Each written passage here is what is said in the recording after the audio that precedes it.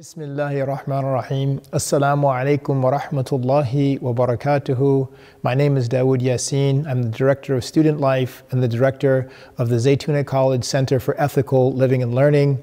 I am here on Zaytuna's beautiful campus in the heart of Berkeley in the area known as the Holy Hill. Alhamdulillah, Allah has blessed us to see another Ramadan. May it be full of love and light and openings from Allah Ta'ala. I've been asked, Alhamdulillah, to speak about a topic of healthy habits as, re- as relates to our physical body. Inshallah, we'll all acknowledge and pursue healthy habits spiritually, um, intellectually, inshallah, and then also physically. So, this is something that has been a topic I've been thinking about for quite some time. There's literature from both the Quran, from the Sunnah, um, and also from our scholars, Imam Ghazali in particular, who I'd like to read from today, that really point us to this uh, importance of ensuring uh, that our food um, doesn't become something that inhibits us in our relationship with Allah subhanahu wa ta'ala, both inside of Ramadan and out. But Ramadan is a great opportunity for us to begin to think about that. I mean, the first thing we want to think about in terms of food, perhaps, is obviously only consuming that from the lawful.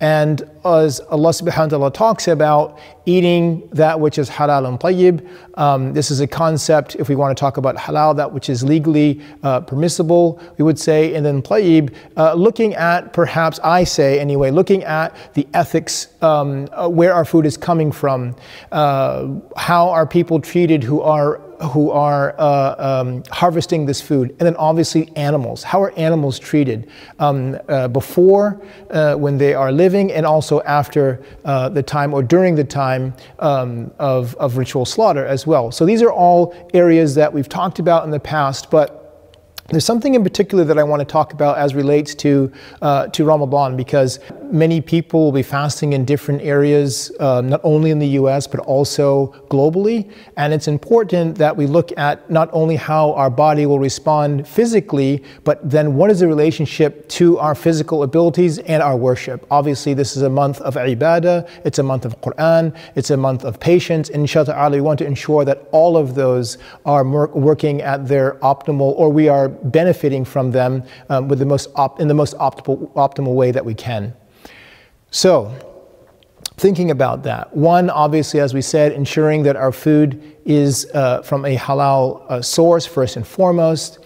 And as a reminder, I think it's important for us, uh, Allah says in the Quran, فَذَكِّرْ فَإِنَّ الذِّكْرَ تَنْفَعُ الْمُؤْمِنُونَ remind one another because in that reminder is a mutual benefit. So, first and foremost, let's look at the relationship between our food and supplication, for example. The Prophet ﷺ is uh, with his companions, peace and blessings be upon him, and may Allah be pleased with all of them.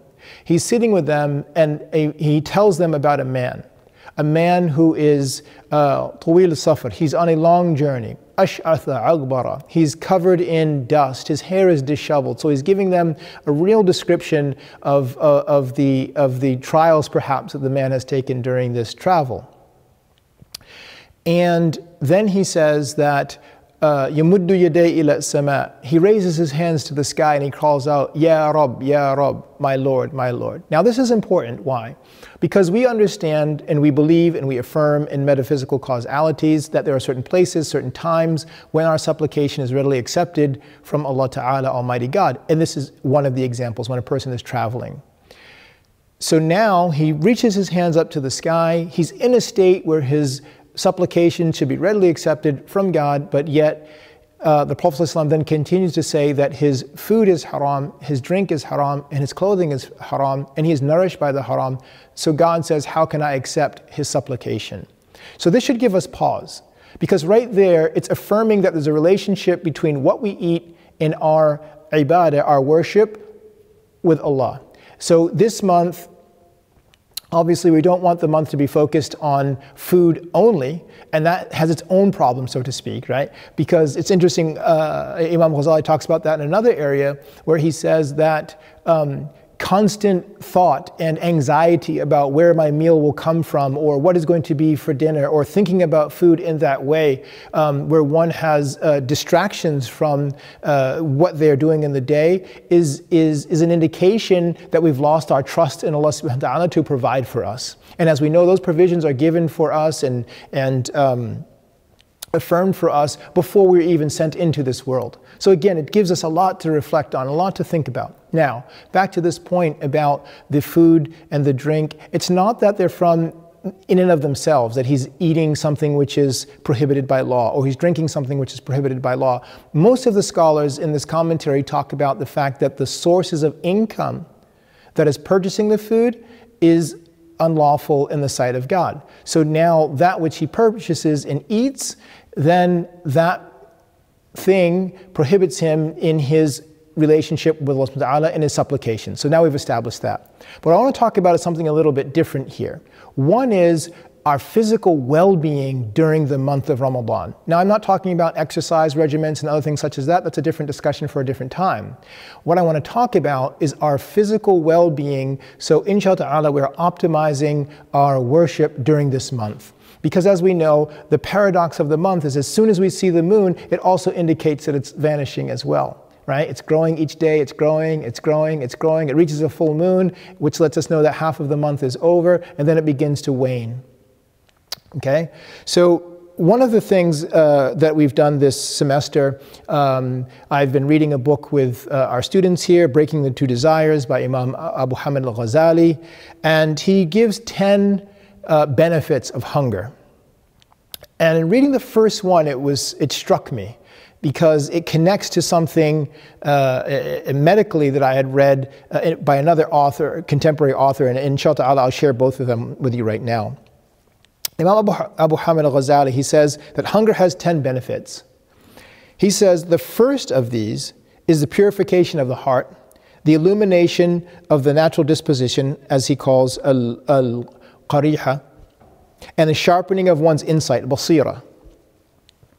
For satiety engenders being full, having our stomachs full, engenders lack of intellect, blindness of the heart, and increases the vapors of the vein, uh, sorry, the vapors of the brain to produce a form of inebriation. So the sources of thought are repressed, and the heart finds it burdensome to perceive things in a rapid manner. Now that's interesting because he uses the term inebriation. Imam Abu Hamid al-Ghazali is writing this book over 900 years ago.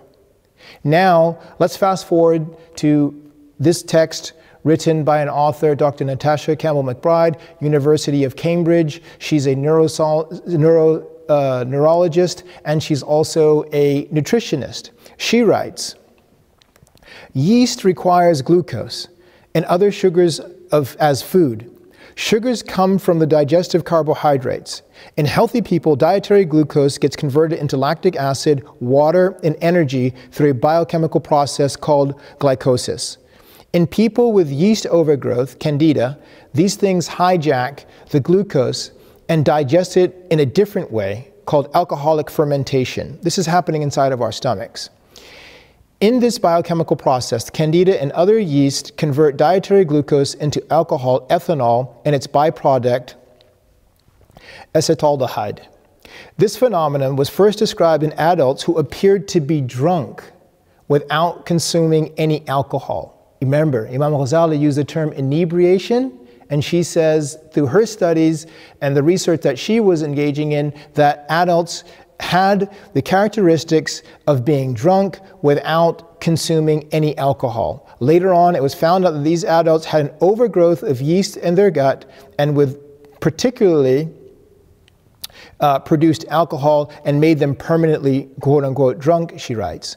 These people were particularly drunk after a carbohydrate meal because carbohydrates are consumed by candida with the production of alcohol. So, this is something that I want to talk about.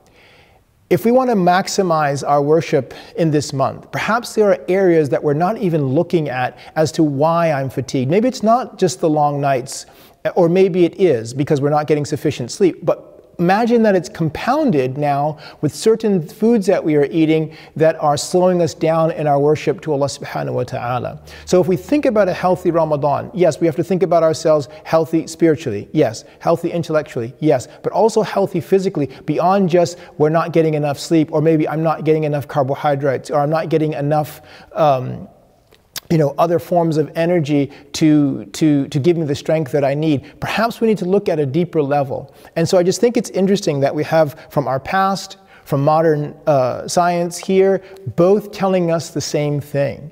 And inshallah I think because this is a month of self-examination, it's a month of recommitment, that we can use this opportunity, we can use these 30 days to really look inside of us and look at what goes inside of us and how those things can uh, be an impediment to the real openings that we're hopeful of and desirous of in this month. So alhamdulillah, may Allah bless us to have a fruitful month a month that is filled with love, a month that is filled with light, Allah is Nur, a month that is filled with companionship, a month that is uh, feeding people, uh, engaging in, in, in, in building community, for those who don't have community, people that are new converts, people that maybe don't have access to transportation, but just really looking to give in this month and serve in a way that is pleasing to Almighty God and entering happiness into the hearts of the believers. So may Allah subhanahu wa ta'ala give us a blessed uh, Ramadan and bless us in the remaining days and nights of the month of Ramadan.